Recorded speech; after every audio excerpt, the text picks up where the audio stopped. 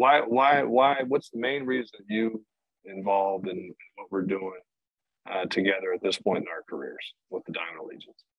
Well, I, I, think you know how this started with me as far as the Diamond Allegiance. You brought me into it when it was uh, basically just the foundation, and you know Sandy wanted to. Sandy Ogg wanted some people on that board that would help with what he was doing, and that is to help young kids get involved with baseball, stay involved, and it's in particular those kids that couldn't be involved. And when you coach at the Division One level, um, you you have a lot of work to do, and you're really concerned with Division One guys. And when you go out and watch kids play, um, you watch Division One guys, and you don't go to a lot of um, places where kids just play for the fun of it, or kids or kids can't afford it. And so I was happy to be on the foundation. You know, the foundation piece was awesome to me, and just being on the advisory board. Um, and I don't know who took that and and morphed it into what it's was going to be with the Diamond Allegiance. But um, when you guys shared that, hey, we want to continue to do what we're doing on the on the um, foundation piece, but we think we can help a lot of kids across the country. And in order to do that, we're going to have to create a model that allows us to interact with with young kids. I just thought, man, what a great way for me to give back. Um, you get into your world of coaching and um, you don't get to spend a lot of time with that. And and I I honestly could go to um, West Delaware, Iowa, and and recruit, you know, a kid on the farm town and watch him play and have just as good a time uh, as I could going down to um, Long Beach and watching the area codes. And so I just think for me, that's a, a great way for me to give back. I want to see kids that are sitting there trying to make a choice. And that is, do I give up baseball? Do I start watching a lot more TV and playing a lot more video games or doing a lot more things um, that may not be as productive as to where a great game of baseball can get me, whether it's building relationships. And so I'm inspired as much about the guy that's that fringe D1 guy and helping him maybe say one word to him. Um, I had a guy that's with us right now that just called me. One of our one of our teams that's with us. Their their owner called me the other day and asked me some advice on a kid that was looking for some help with the mental part of the game.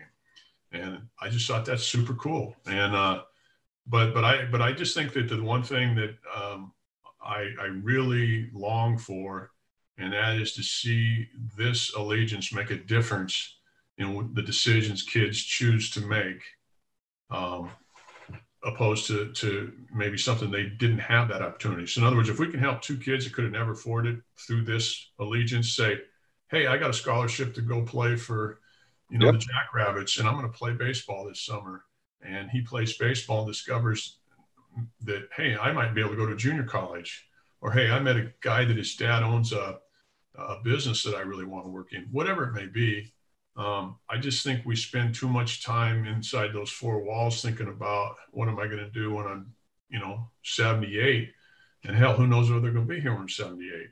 And so, um, you know, if we don't inspire our youth, we're gonna we're gonna uh, pay for the consequences.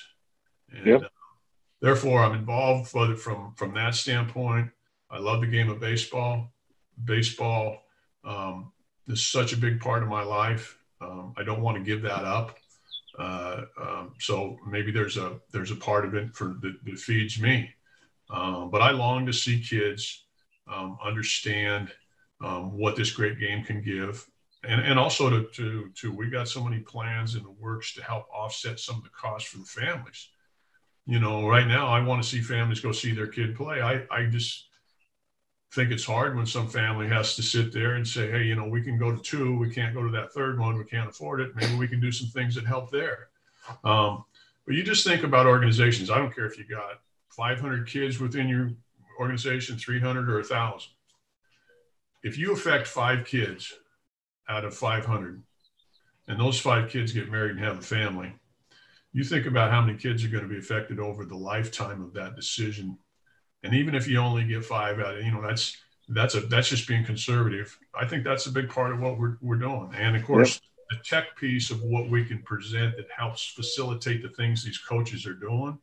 And um, the, the things that kids need to have at their um, at their accessibility to to advance in the game. And I think advancing, like I said, I, I, I will be just as excited about the guy that never thought he'd make the high school team that made it, guy that never thought he'd go to college that goes to an NAI or three year, yep. guy that never thought he was going to be a a D1 that becomes a D1, the guy that never thought he was going to be a big leaguer that becomes a big leaguer.